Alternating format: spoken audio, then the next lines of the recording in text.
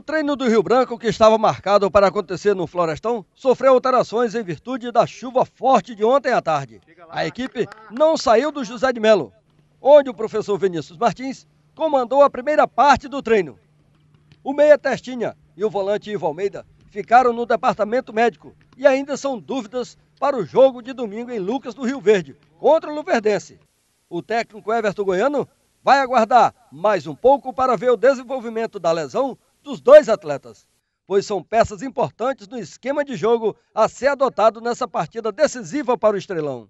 No ataque, Marcelo Braz, que fez a sua estreia no último jogo, quer ajudar a equipe nessa partida.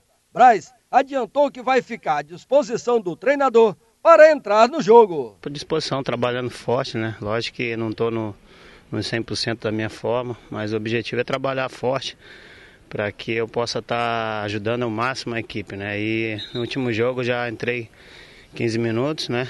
É, lógico, agora é, o pensamento é entrar mais vezes com o pensamento de poder ajudar a equipe de uma forma maior. Né? Desde já, o caso, quero agradecer a oportunidade, é, ajuda, o apoio do Alex, né, da Clínica D, Espaço Vital, que tem me ajudado nesse tratamento, que fez com que eu entrasse em campo no domingo. Né? Isso foi de, de, muita, de muita ajuda, de muita responsabilidade, para que eu pudesse estar atuando novamente. Lei e Ezequiel Palermo estão fora do jogo. O primeiro cumpre suspensão pelo terceiro cartão amarelo, o segundo pelo vermelho. Com isso, Pedro Balu, que foi titular da equipe no segundo turno do estadual, volta à sua posição na equipe.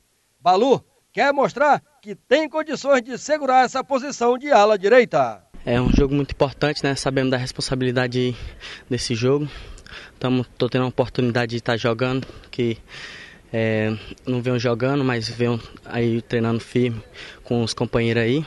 Hoje, essa semana apareceu minha oportunidade e vou estar dando o meu melhor para ajudar a equipe do Rio Branco. Se a oportunidade de pintar, pode guardar, Balu? Vai, toma aí, né? Se pintar, a gente tá guardando, né?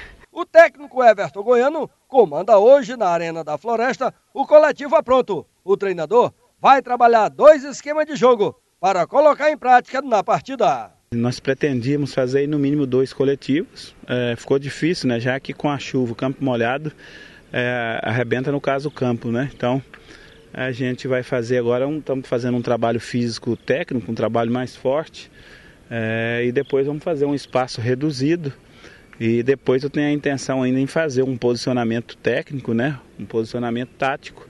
E amanhã a gente tenta fazer o coletivo.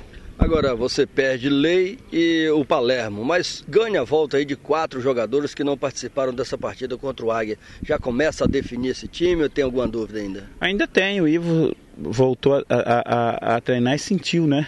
Então não, não, não treinou ontem, treinou um pouco com bola à tarde, sentiu, voltou, né? Não, não, não trabalhou agora à tarde.